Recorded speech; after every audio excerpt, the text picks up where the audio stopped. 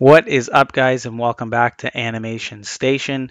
Today I'm going to show you how to use the color mask in Krita and what this does is it allows you to color things in really really fast and really really well and it leaves no gaps. So as long as your drawing line work is closed, so what that means is that say you're drawing this eyeball here, that line has to start and it has to end on a line so that it's not an open loop um, so just keep that in mind. So as you can see, I drew this drawing here. This is just a character. He's just mad.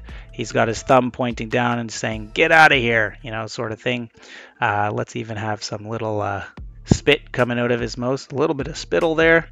So we're going to draw those. And you want the line work, like I said, to be closed like that.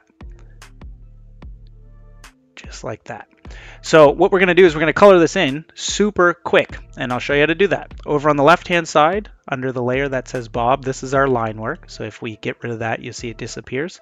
We would just right-click, and you would scroll all the way down to Add, and you're going to go over to the right-hand side to Colorize Mask. So add Colorize Mask, you're going to go ahead and hit that. Once you hit the colorize mask, it's already going to be highlighted. The uh, marker is already highlighted as well, which means it's active. Okay, now that it's active, we can go ahead and start telling Krita where we want to fill the color. So we would right click. Let's start with his skin tone. So let's go with this color here. That looks pretty close for skin. So this is a bald head. So we would just put a little line there, little line here. And it doesn't matter what type of lines you use, Krita will understand what you're trying to tell it. Okay, so what you're telling Krita is I want you to color this color in this section, right? So we're gonna do the, the face first. And like I said, doesn't matter what you use. We're gonna do the neck in here and all this is going to be the same color. Now we know that should be the exact same color as the hand. So we know that.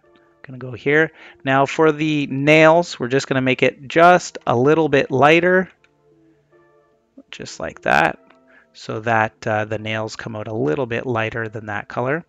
And that's it. So we'll move on to the eyebrows. Let's do the eyebrows like a gray. So he's kind of like an older man. So we'll do eyebrows here, just like that. That's going to tell Krita to fill that with a gray color. And then we'll do the eyeballs, which are black.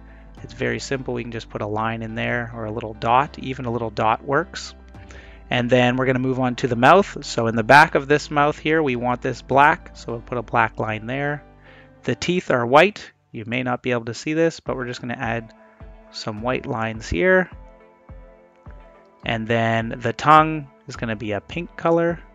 So we're going to use the tongue right here. And then the coat. So we're almost done here. Let's use the jacket. Jacket will be a blue just like this. And then these little cufflinks here, we'll just do green.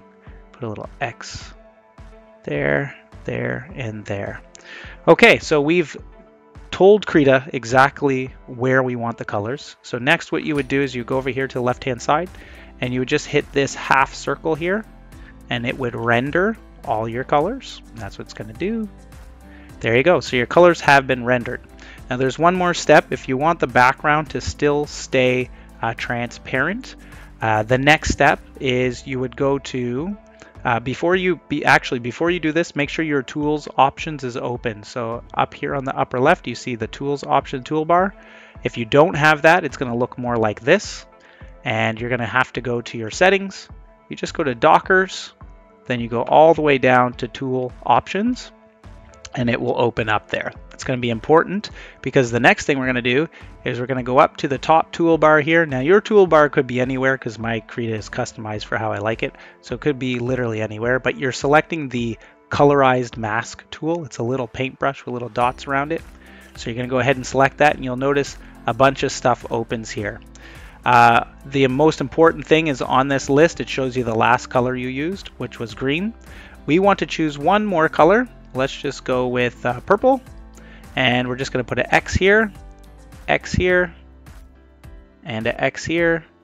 And that will tell Krita that we want this transparent after we hit this button here. So we select the last color we used, we hit transparent, which is this button. I'm Gonna get rid of that now. We can move that back up. And we're gonna go back down to our colorized mask. And what you wanna do here is hit the render button one more time. So if you hit render, there we go. Now, if I was doing this in an animation, so if you follow my channel, you know that I do a lot of animation, I would then right click this colorized mask and I would scroll down to convert and I would actually convert this to a paint layer just like that and that way I can go ahead and use that at will. So now we have a layer of paint and the line work and this is how I do all my animations. I always have the paint behind the line work. But this just saves a whole lot of time. Most importantly, there's no overspill and there's no gaps, okay? So there's no, uh, normally if I go to this, so I would just rename this as paint and that would be we would just select this and I would just paint underneath the line work. But sometimes when you do that if your brush is a little too big you have overspill you see like that. And this avoids that okay?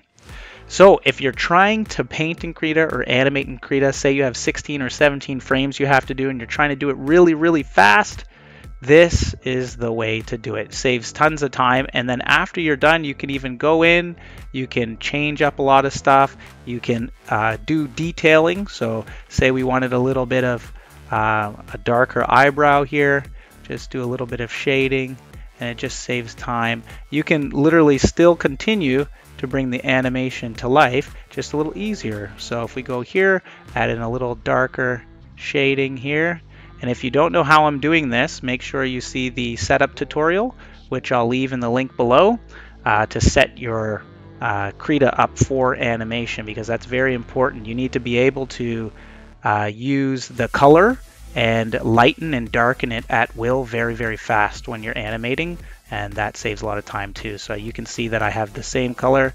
I'm using it to add in these little small fine details right now. There you go. Okay. So that's all for today. Using the colored mask is super easy and it allows you to color in your drawing super, super fast, uh, no time at all. Okay, if you're into this stuff and you're into animation, make sure if you haven't already hit my uh, subscribe button on my channel, click on the bell so you know the next time that uh, I, I, post a video as well. All right, thanks so much for watching, guys. You guys take care. I hope you use this method. It works really, really well, saves tons of time. All right, you guys take care. Thanks for your support. Cheers. Bye.